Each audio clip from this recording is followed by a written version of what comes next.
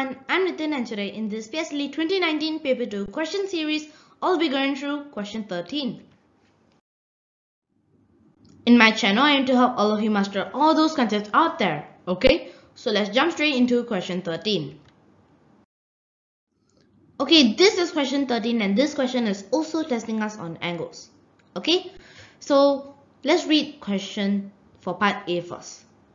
In the figure below, ABCD is a rectangle. So this is A, B, C, and D. Okay. So the points F, okay, G, and H lie on the rectangle ABCD.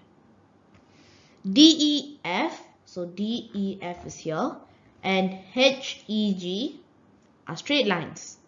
Okay, part A. Find angle FGE. So where is FGE? It is here. Angle FGE. Okay, so this is the question and let me highlight some key information. So this is a rectangle. Points F, G and H lie on the rectangle. And this is really important. Okay, find angle FGE. Okay, so here it is FGE. Okay, so first we have some information over here that this is 48 degrees and this is 86 degrees. Okay, so I'm going to try to make use of either one of this information first. And we also have this 92 degrees over here. And another information that we have is that this is a rectangle, so all the angles are 90 degrees over here, right? Okay, and the rectangle has two parallel lines. Okay, so here here and here.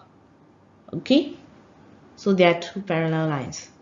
Okay so do you remember me talking about alternate angles in question 11 right? So I'm going to use that concept again over here. Okay let me highlight the alternate angle to you and see if you can remember what I meant by alternate angles. Okay. So I hope you remember what alternate angles are alternate angles are basically it's a z okay? So in two parallel lines so these are parallel lines okay? There's actually a connecting line right? Straight connecting line. That means that it becomes an alternate angle over here. So this angle over here is actually equal to this angle over here. So this is basically what alternate angles mean. Okay let me draw it more more nicer okay? So two straight lines and then one connecting line. And then these are parallel. So this angle is equal to this angle. Okay? So I hope you understand that.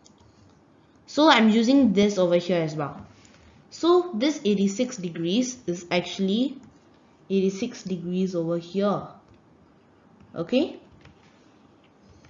So angle DHG DHG is equal to angle BGH equals is equal to 86 degrees.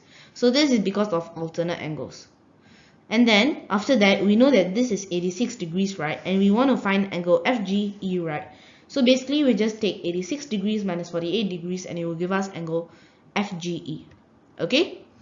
So the answer is 38 degrees for part A. Now let's move on to part B. Part B. Find angle EDH. Where is angle EDH?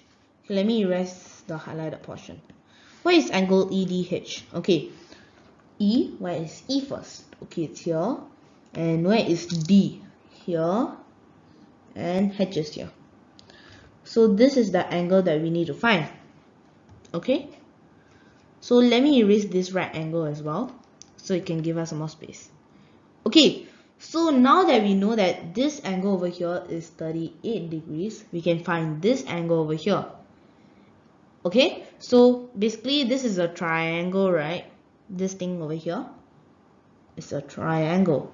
So I'm going to take 180 degrees minus 38 degrees minus 92 degrees to find angle FEG FEG okay so give us 50 degrees let me write that down 50 degrees Okay, let me erase the highlighted portion. Okay, do you see something that we went through in a older video? Yes, I think you see it. This is a vertically opposite angle because these two lines are straight. Okay, if you are new to the channel and you do not know what's a vertically opposite angle, let me teach you right now. So here is also 50 degrees. So vertically opposite angles are basically two lines crossed which are straight lines. Okay. So basically, let me use a yellow color. So this angle over here is equal to this yellow angle over here. Okay. And then this blue color angle over here is equal to this blue color angle over here. Okay? So basically this is vertically opposite angles. There are two straight lines which meet at a point. Okay?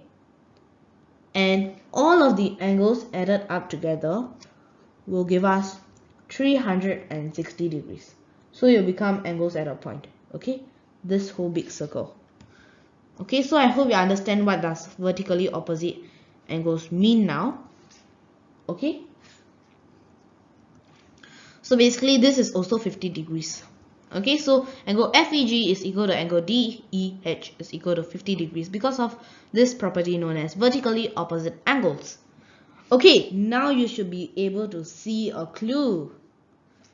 Okay let me highlight something. Look at this. Look at this amazing piece. It's a triangle. Yes. And we already know two angles so basically it's really easy to find it, right? So it's just 180 degrees minus 86 minus 50 degrees. So that's the answer and the answer is 44 degrees. Okay, so angle EDH is equal to 44 degrees for this question. Okay, so I hope you understood my explanation for this question, question 13, part A and part B.